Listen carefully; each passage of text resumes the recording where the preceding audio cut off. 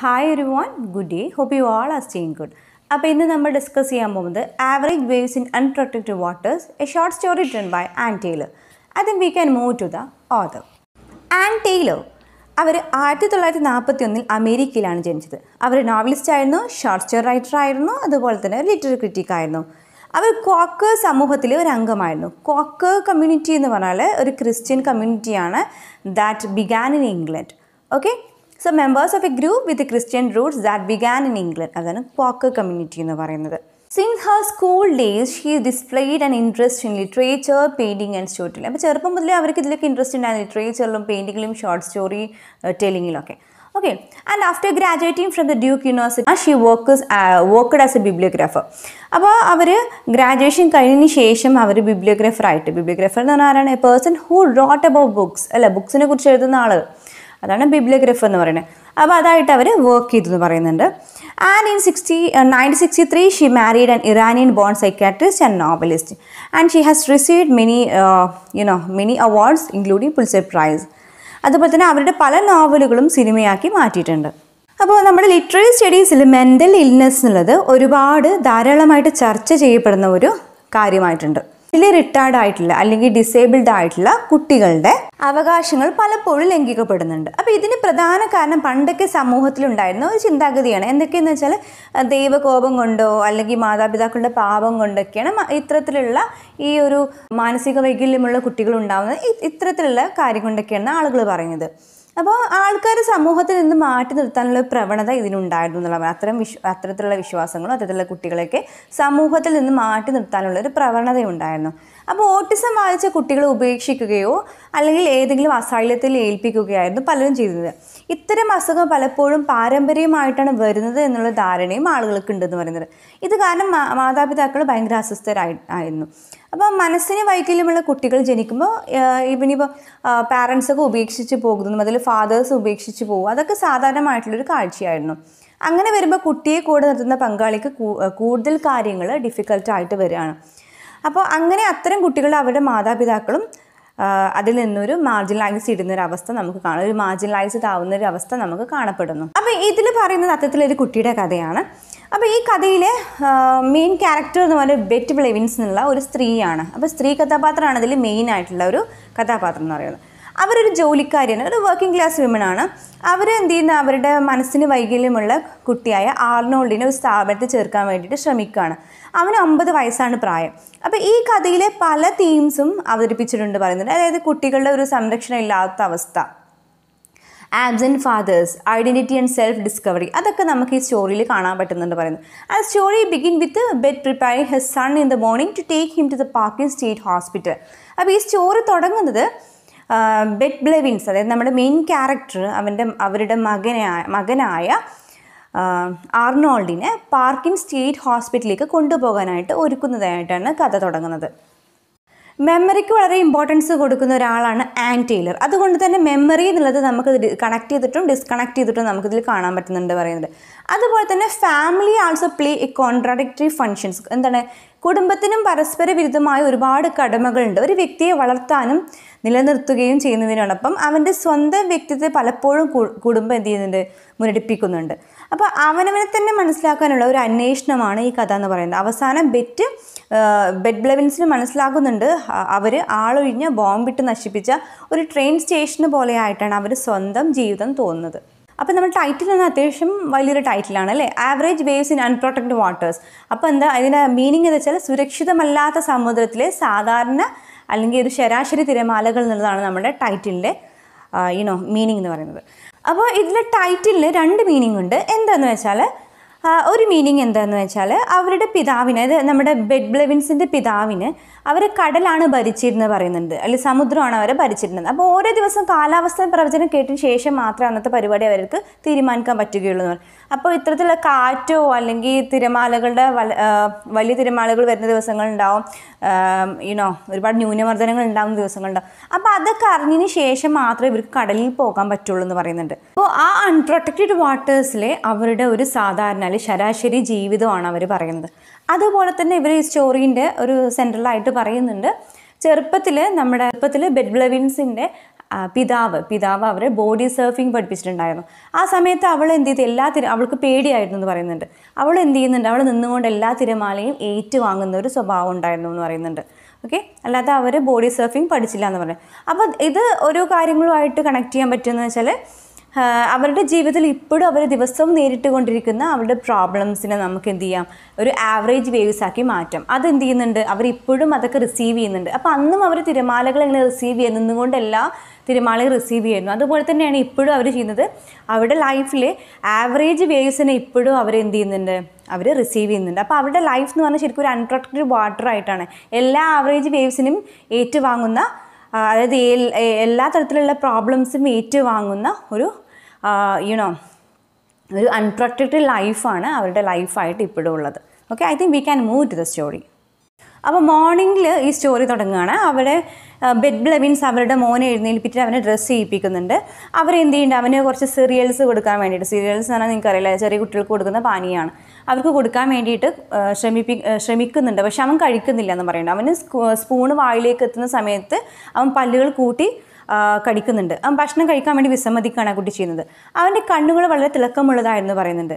അമ്മയുടെ മുടി പോലെ നിറമുള്ള മുടിയായിരുന്നു അവന്റേതെന്ന് പറയുന്നുണ്ട്. വരേന് ഷർട്ടും ജീൻസുമാണ് അവൻ ധരിച്ചിരുന്നത്. മുതിർന്നവരുടെ പോലെയായിരുന്നു കുട്ടിയുടെ മുഖം എന്ന് പറയുന്നുണ്ട്. അങ്ങനെ എപ്പോഴെങ്കിലും മാത്രമേ ഉള്ളൂ and he hardly change his expression എന്ന് പറയുന്നുണ്ട്. വളരെ വിരളമായിട്ട് ആ കുട്ടി എക്സ്പ്രഷൻസ് ചേഞ്ച് ചെയ്യുന്നത് എല്ലായ്പ്പോഴും ഒട്ടുമിക്ക എല്ലായ്പ്പോഴും അവൻ ഒരേ എക്സ്പ്രഷൻസ് ആണ് മുഖ മുഖത്തുണ്ടായിരുന്നത്. അങ്ങനെ അവന് കസാല എടുത്തുകൊണ്ട് അവൾ എന്ത് ചെയ്യുന്നു? കടക്ക വിരിക്കാൻ പോകുന്നുണ്ട്. അങ്ങനെ സിങ്ക് സിങ്കിലുള്ള സ്പൂണും പാത്രങ്ങളൊക്കെ കഴുകി വെക്കുന്നുണ്ട്. അതുപോലെ മാഗസിൻ കഷ്ണം അവിടെ ഇവിടെയൊക്കെ ആയിട്ട് കീറിയിട്ടിട്ടുണ്ടായിരുന്നു. അപ്പോൾ അതൊക്കെ പെറുക്കിയെടുക്കുന്നുണ്ട് ഒരു പഴയ വീടായിരുന്നു. ഒരു പഴയ വീടാറായാലും ഒരു കെട്ടിടത്തിന്റെ വാടക മുറിയിലായിരുന്നു അവർ ജീവിച്ചിരുന്നു പറയുന്നത്. ഒരുപാട് സാധനങ്ങൾ അവിടെ ഇവിടെയൊക്കെ ഒരടുക്കും ചിട്ടിലായിട്ട് കിടന്നിരുന്നു എന്ന് പറയുന്നുണ്ട്. അപ്പോൾ ഈ മാഗസിന് കീറിയിട്ടിട്ടുണ്ട്. എന്നൊക്കെ തന്നെ നമുക്ക് മനസ്സിലാവും. ഇതൊരു ഡിസേബിൾഡ് ആയിട്ടുള്ള മെൻ അതായത് മാനസികാസ്വസ്ഥയുള്ള അല്ലെങ്കിൽ മാനസിക വൈകല്യമുള്ളൊരു കുട്ടി ആയതുകൊണ്ട് തന്നെ യുനോ മാനസിക വളർച്ച ഇല്ലാത്തൊരു കുട്ടി ആയതുകൊണ്ട് തന്നെ അവന് ഒരു പക്വത ഇല്ലാത്ത പ്രവൃത്തിയും കാര്യമൊക്കെ ആയിരിക്കും. വീട്ടിൽ അവിടെ ഇവിടെയൊക്കെ സാധനങ്ങൾ വലിച്ചിടും. ഓക്കെ ഒമ്പത് ഒരു ഒമ്പത് വയസ്സായി എന്ന് പറഞ്ഞാൽ ആ കുട്ടിനെ അതിലുള്ളൊരു പക്വതയും കാര്യമൊന്നും ഇല്ല. അങ്ങനെ അവൾ പുറത്തു പോകാനുള്ള ചെരുപ്പിടുകയും അവളുടെ ഡ്രസ്സ് ശരിക്കും വലിച്ചിടുകയും ചെയ്തു. ആ ഡ്രസ്സ് അവൾക്ക് അല്പം വലുപ്പം വലുതായിരുന്നു എന്ന് പറയുന്നുണ്ട്. അല്പം കൂടുതലുണ്ടായിരുന്നു. അതിന്റെ പുറത്ത് അവൾ എന്ത് ചെയ്തു? കോട്ട് ധരിച്ചു. അപ്പോൾ ആർണോളിന്റെ അടുത്ത് ചെന്ന് അവനോട് പറഞ്ഞു നമ്മൾ പുറത്ത് പോവാന്നൊക്കെ കുട്ടിയെടുത്ത് പറയാണ്. അവൾ അവന്റെ ജാക്കറ്റ് കൊണ്ടുവന്ന് ഇട്ടു. അതിനുശേഷം പറയുന്നുണ്ട് ആഴ്ചയിൽ പകുതി ശമ്പളം കൊടുത്തിട്ടാണ് അവൾ ആ ജാക്കറ്റ് വാങ്ങിയെന്ന് പറഞ്ഞു. പക്ഷേ ആ കുട്ടിക്ക് അത് ഇഷ്ടമായിട്ടില്ല അവനവന്റെ പഴയ കോട്ട് മതി. പക്ഷേ അത് അവന് ചെറുതായി പോയിരുന്നു എന്ന് പറയുന്നുണ്ട്. അവൾ അവന്റെ അടുത്ത് എന്ന് നിർബന്ധിച്ച് ഇടാൻ നോക്കിയ സമയത്ത് അവന് തട്ടി മാറ്റിയിട്ട് പോയി എന്ന് പറയുന്നുണ്ട്. അങ്ങനെ ആ കുട്ടി ശരിക്കും ബട്ടൺസ് ഒന്നും ഇട്ടിട്ടുണ്ടായിരുന്നില്ല. കാൽ വലിച്ച് വലിച്ചാണ് അവൻ നടന്നിരുന്നത് പറയുന്നുണ്ട്. സ്യൂട്ട് കേസ് അവന്റേതാണെന്ന് അവൾ പറഞ്ഞു. അപ്പോൾ ആ കുട്ടിക്ക് തോന്നി എന്തോ കുഴപ്പമുണ്ട്. നോർമൽ ആയിട്ടുള്ള കാര്യങ്ങളല്ല. എന്തോ ഒരു കുഴപ്പമുണ്ട് അവന് തോന്നുകയാണ്. അങ്ങനെ ഇവർ സാവധാനം അവർ സ്റ്റെപ്സ് ഇറങ്ങുകയാണ്. അങ്ങനെ താഴെ എൻട്രൻസ് ഹാളിൽ മിസ്സിസ് പക്കറ്റ് അവർക്ക് വേണ്ടിയിട്ട് വെയിറ്റ് വെയിറ്റ് ചെയ്യുന്നുണ്ടായിരുന്നു. ആൾനോട്ടിന് കൊടുക്കാനാണ് പീനട്ട് ബട്ടർ കുക്കീസ് നിറച്ച ഒരു പാക്കറ്റ് അവരുടെ കയ്യിലുണ്ടായിരുന്നു പറയുന്നുണ്ട്. അവന്റെ ഇഷ്ട വിഭവമായിരുന്നു അത്. മിസ്സിസ് പാക്കറ്റിന്റെ കണ്ണുകൾ നിറഞ്ഞൊഴുകിയിരുന്നു. അവരാണ് ആ കുട്ടിയെ നോക്കിക്കൊണ്ടിരുന്നത്. അവൻ വലുതായപ്പോൾ നിയന്ത്രിക്കാൻ പറ്റാതെ വന്നപ്പോഴാണ് അവർ എന്ത് ചെയ്തത്? അവനെ നോക്കുന്ന ആ ജോലി നിർത്തിയതെന്ന് പറയുന്നുണ്ട്. ആർണോൾഡ് അവരെ കെട്ടിപ്പിടിക്കുകയോ അല്ലെങ്കിൽ അവരെ കയ്യിലുള്ള കുക്കീസ് വാങ്ങുകയൊക്കെ ചെയ്യുന്നു അവരെ വിചാരിച്ചത്. പക്ഷേ ആർണോൾഡ് ആർണോൾഡ് അങ്ങോട്ടൊന്നും നോക്കാതെ പുറത്തേക്ക് പോയി എന്ന് പറയുന്നുണ്ട്. അങ്ങനെ നമ്മുടെ ബെഡ് ബ്ലവിൻസ് ആണ് ആ സ്ത്രീയുടെ കയ്യിൽ നിന്ന് ആ കുക്കീസ് വാങ്ങിയത്. ആ സ്ത്രീ കരയാൻ തുടങ്ങി എന്ന് പറയുന്നുണ്ട്. അവർക്ക് ബസ് കിട്ടി. അവർ ജനലിന്റെ അടുത്താണ് ആർണോൾഡ് ഇരുന്നത്. അവന്റെ വിചാരം അമ്മയുടെ കൂടെ ജോലി സ്ഥലത്തേക്ക് പോവാണെന്നുള്ളതാണ്. ജോലി സ്ഥലം എത്തിയപ്പോൾ അവൻ ബസ്സിൽ നിന്ന് ഇറങ്ങാൻ എഴുന്നേറ്റു. പക്ഷേ അവൾ പറഞ്ഞു നമ്മൾ വേറെ എങ്ങോട്ടാണ് പോകുന്നത്? ഇങ്ങോട്ടല്ല എന്ന് പറഞ്ഞു. അങ്ങനെ ട്രെയിൻ സ്റ്റേഷനിൽ എത്തിയിട്ട് അവരെന്ത് ചെയ്തു? ഒരു ചൂയിങ്കത്തിന്റെ പാക്കറ്റ് വാങ്ങിയെന്ന് പറയുന്നുണ്ട്. ആറിനോട് ആ സമയത്തും വാ പൊളിച്ച് മുകളിലേക്ക് നോക്കി നിൽക്കുമായിരുന്നു പറയുന്നുണ്ട്. അവന്റെ രണ്ട് കൈകളും സൈഡിലേക്ക് തൂങ്ങിക്കിടക്കുകയായിരുന്നു അപ്പോൾ ആളുകളൊക്കെ അവനെ വല്ലാതെ തുറച്ച് നോക്കുന്നുണ്ട്. അവൾ എന്ത് ചെയ്തു? അവനെ ഗേറ്റിന്റെ അടുത്തേക്ക് കൊണ്ടുപോയി എന്ന് പറയുന്നുണ്ട്. അങ്ങനെ അവൻ ഇതുവരെ ട്രെയിൻ കണ്ടിട്ടില്ല. അവൻ ഇതുവരെ ട്രെയിനിൽ കയറിയിട്ടില്ല. അവനല്പം പേടി തോന്നി. അപ്പോൾ ട്രെയിൻ മുന്നോട്ട് പോകുമ്പോൾ അവൻ ബഹളം വെച്ച് അവളുടെ കയ്യിൽ വലിക്കാൻ തുടങ്ങി. അത് ട്രെയിനാണെന്നും അവർ ട്രിപ്പ് പോവുകയാണെന്നൊക്കെ അവനെ പറഞ്ഞിട്ട് അവളത് മനസ്സിലാക്കി എന്ന് പറയുന്നുണ്ട്. അങ്ങനെ അവൾ ഒരു ചൂയിങ് അവന് കൊടുത്തു. അപ്പോൾ അവനത് ഇഷ്ടമായിട്ടുണ്ട്. അപ്പോൾ അവൾ വിചാരിക്കുന്നുണ്ട് അവൾ സൂക്ഷിച്ചില്ല എന്നുണ്ടെങ്കിൽ അവനത് വിഴുങ്ങിക്കളയെന്ന് പറയുന്നുണ്ട് അല്ലേ? മെന്റൽ ഡിസേബിൾ ആയ കുട്ടിയാണ് അതിന്. ആ കുട്ടിക്ക് അതിലുള്ള ഒരു ബുദ്ധിയും കാര്യങ്ങളൊന്നും ഇല്ല പക്വതയും കാര്യമൊന്നും ഇല്ല.